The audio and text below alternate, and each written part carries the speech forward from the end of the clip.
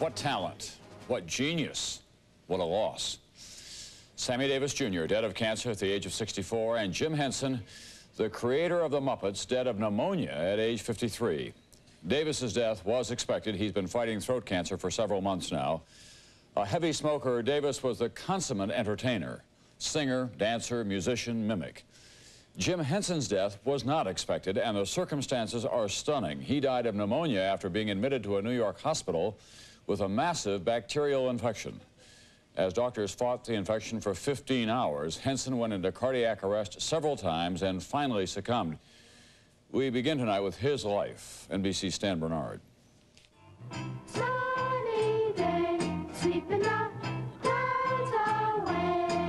This was Jim Henson's breakthrough, the creation of the wonderful characters on Sesame Street. But that, that's what a friend is, Bert. The man who made the Muppets and so much more died suddenly in a New York hospital from what the doctors called a massive bacterial infection which attacked his lungs.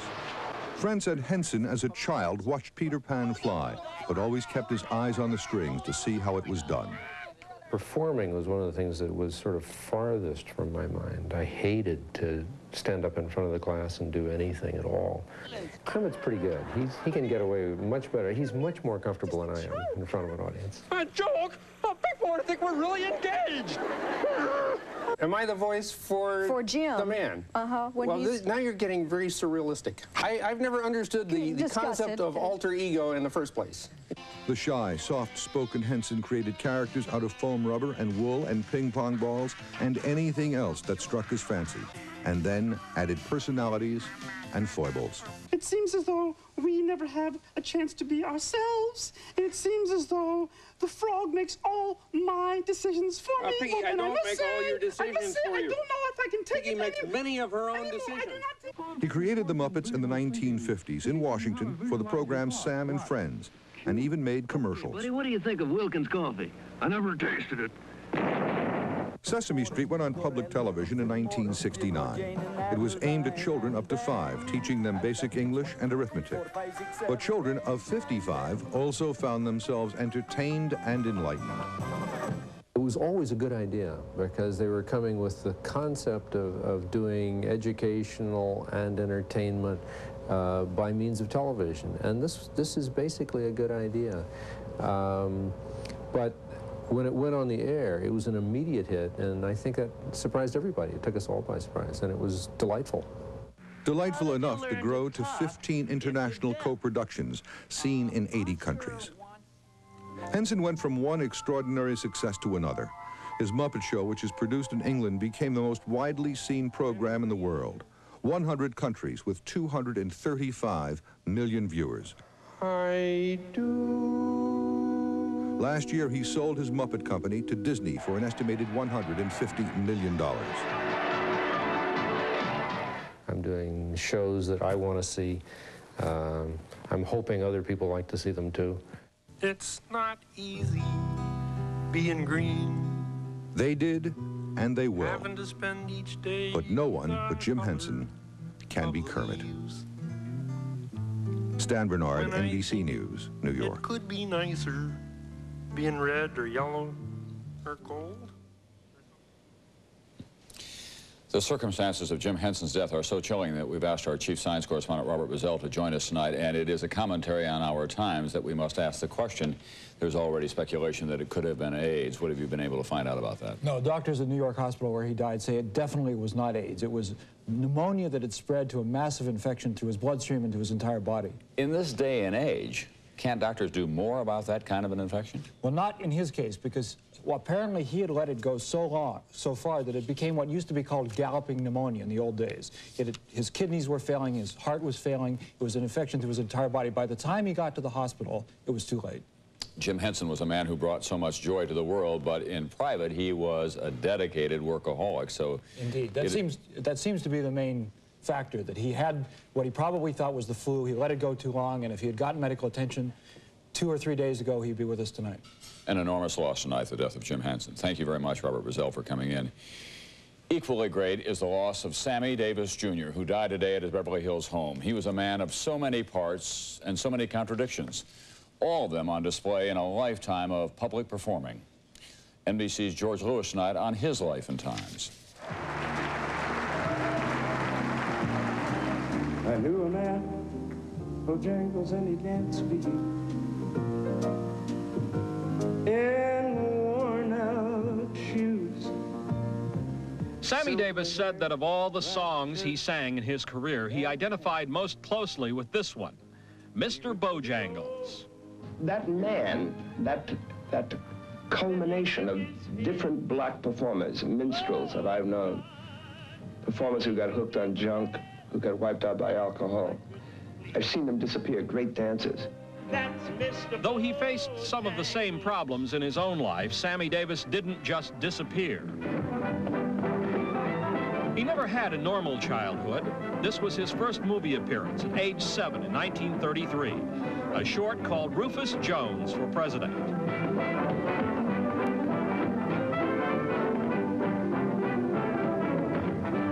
He toured the vaudeville circuit with his father and his uncle, never went to school, living in rundown rooming houses in a racially segregated society.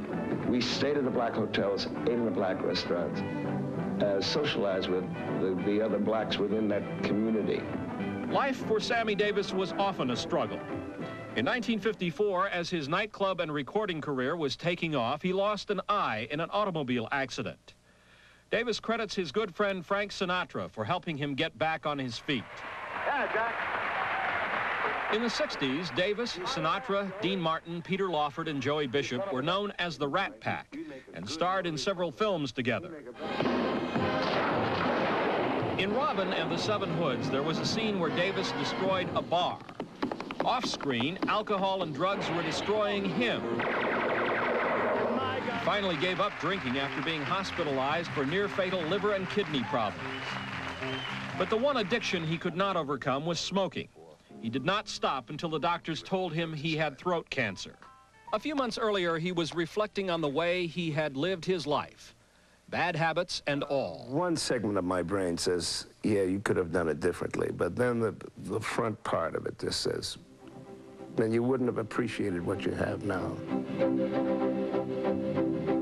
One thing he had was a whole lot of versatility as an entertainer. For six decades, he sang and danced and clowned and acted. Now on three, okay? One, two, three.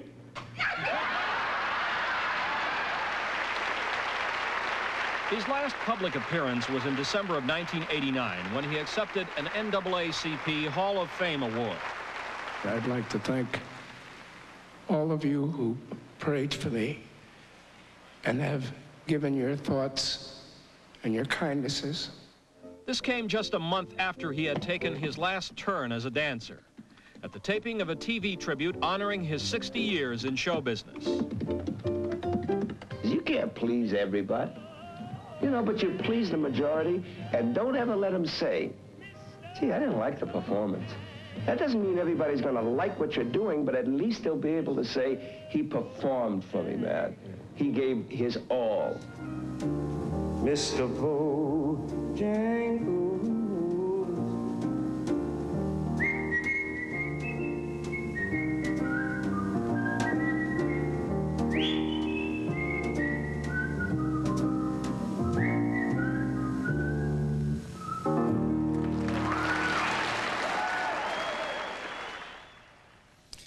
Sammy Davis Jr. and Jim Henson, American Originals.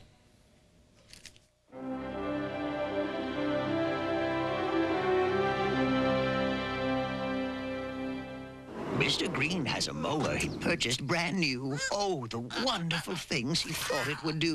But it sputtered, it coughed, it gave quite a wheeze.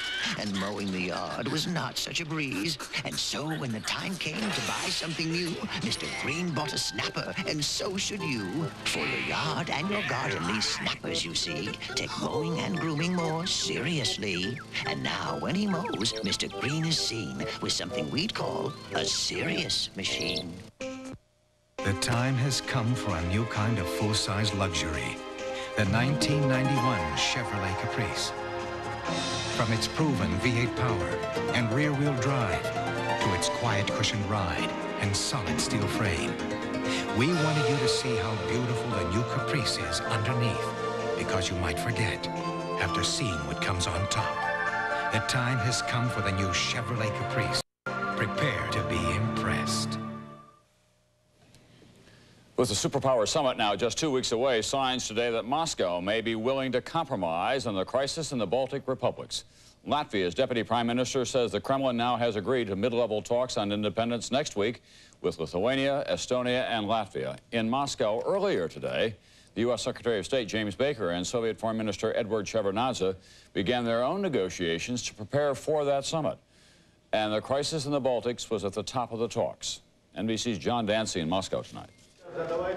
Baker led off his talks with Shevardnadze by complaining about Soviet unwillingness to talk to leaders in the Baltics. It's not encouraging to us to see the absence of a dialogue. We would like to see this resolved, of course, in, in a peaceful manner and through dialogue between uh, the Soviet leadership and Lithuanians. But with President Gorbachev beleaguered by the situation in the Baltics, that is apparently as far as the Bush administration plans to go, for fear stronger action would harm arms control talks. Today in Estonia, people were registering to guard buildings against any attempt by Soviet troops to occupy them. But at the same time, they were getting a clear signal from Washington that the Baltics would have to take a back seat to U.S. interests in an arms control agreement with the Soviets. President Bush said the crisis in the Baltics certainly put some tension in the arms control talks with the Soviets. However, he added pointedly, We have a broad agenda of, of items that uh, we must go forward on. And we have negotiated with the Soviets when, when all of Eastern Europe was in captivity and when we had Cold War times. Baker revealed he had given some new arms control proposals to Shevardnadze when the two met 10 days ago in Germany. But he said the Soviet reply was still unsatisfactory. We still have a pretty good road to travel right now. Bush and Baker have clearly decided to handle the situation in the Baltics as a U.S. domestic political problem because they're under pressure from Congress to take further action. So every time they see the Soviets, they bring it up. But it's also clear that in the long run, the Bush administration feels arms control agreements are more important than the Baltics. John Dancy, NBC News, Moscow. And there was yet another reminder today that although the Cold War may be over, there still is work out there for spies and smugglers. Two U.S. computer executives were arrested in Florida and South Carolina for trying to smuggle a $6 million supercomputer to Bulgaria. This computer can calculate the path of a missile or it can simulate a nuclear explosion.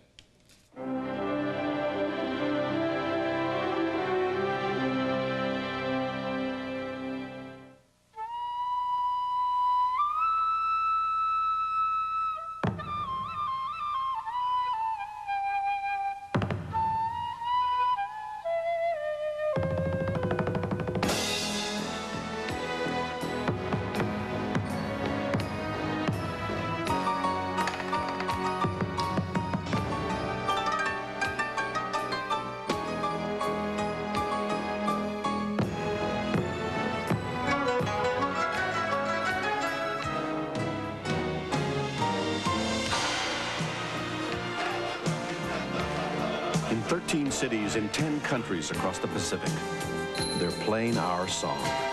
United Airlines Royal Pacific Service. Rededicated to giving you the service you deserve halfway around the world. Come fly the friendly skies.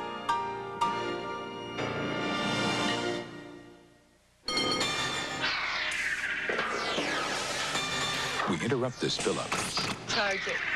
To remind you the Discover card pays you cash back for every charge. Well, we're on our way. It pays to Discover. I'd rather switch than itch, so I switched to Tegrin. Tegrin medicated shampoo controls all the major causes of itching and flaking, so Tegrin is more than strong enough for tough dandruff like yours. Wouldn't you rather switch than itch?